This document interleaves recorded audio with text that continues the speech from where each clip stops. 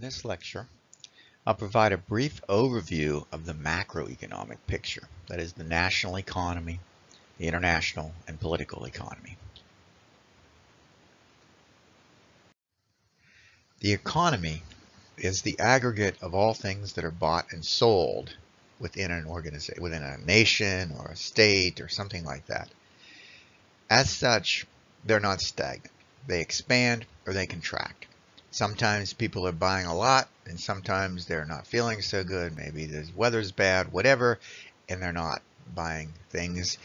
Therefore, the economy would get smaller. The amount that everyone buys and sells gets smaller. An economic expansion, that is, people are buying more and more and more, occurs when an economy is growing and people are spending more money each time period. Their purchases stimulate the production of more goods and services, which in turn stimulates employment. More people are hired. This creates a market pressure to increase wages. You're trying to hire more people. You got to incent them to come on board, higher wages, which in turn increases demand and so forth. You get this nice rolling stone building momentum, uh, positive feedback thing that causes this expansion to occur. The standard of living rises because more people are employed and have money to spend, so they buy more goods and services, which drives additional production. Rapid expansions in the economy, however, if this happens too fast, there may be inflation because everyone's trying to buy things, and so prices go up, and that causes a, a rise in prices. Inflation can be harmful if individuals' incomes don't increase at the same rate as the prices of goods and services. I have a certain amount of money, I'm getting raises, but the prices are going up faster, so I end up buying less of what I can, can have. Economic contraction is when things slow down. We call these recessions.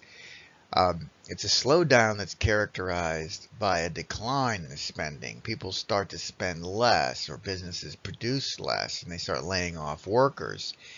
This is this is why contractions can lead to this idea of a recession. Technically, a recession is two consecutive quarters of smalling or contracting um, size of the purchases in the economy, the gross domestic product, which we'll talk about in a minute. Decline in this production and employment and income and all that are some of the characteristics of a recession. These are characterized by, generally we measure them and we worry about unemployment during a recession. Uh, this is the unemployment is measured as the percent of the population that wants to work but is unable to find a job. So they're out looking for work, but they can't get a job. Rising unemployment levels tend to stifle demand for products and goods because effectively people aren't working and so therefore they're they don't um, they can't they, they put off purchases until they find themselves getting a job this might cause downward pressure on prices because less people are making demand so demand goes down that would tend to mean prices go down. And this condition is called deflation. It's generally considered a risky situation when price declines can be seen at the macro level, that is the aggregate pricing. Um, deflation is considered a risky situ situation since falling prices can eliminate profits, therefore slow down business expansion, business investment, more layoffs, more de more decline. It's the reverse situation that you might have when you have a, a strong expansion. Therefore, deflation is considered a risk to the economy.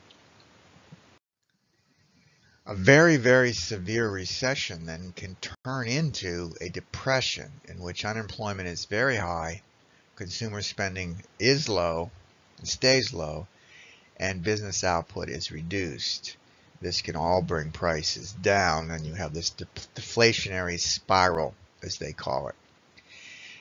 Economies expand and contract on a regular basis. It's called the business cycle.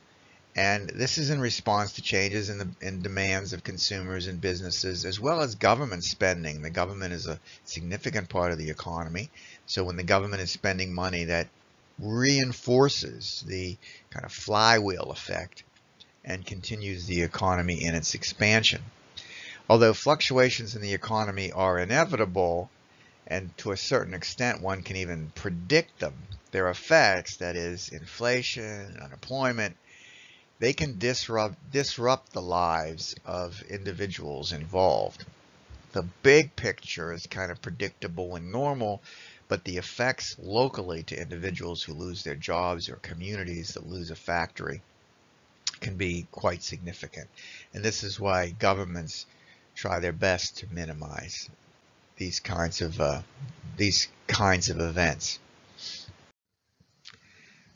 Another important consideration is that inflation can also be harmful if they run out of control in the sense of inflation. If individuals' incomes don't increase at the same pace as prices, but prices keep going up, people actually start buying less because prices are higher, but the prices keep going up because of other, other trends in the economy in terms of the cost of various goods of production. Hyperinflation can be extremely severe. The worst case was in the 19 in Hungary in 1946, where at one point there were doubling of prices every 15.6 hours. And also, in, we hear about in the Weimar Republic, uh, people taking wheelbarrows of cash to buy their products, and the prices going up so quickly. Because prices are going up quickly, people want to buy a lot before the price goes up, which drives the price up further. So you have this additional cycle. Um, another bad case was in Zimbabwe, which had hyperinflation so severe that its inflation percentage rate rose into the hundreds of millions whenever they eliminated the Zimbabwean dollar, the put certain price controls, inflation began to decrease, but it can disseminate or actually destroy an, a country's economy, and that's what happened in Zimbabwe.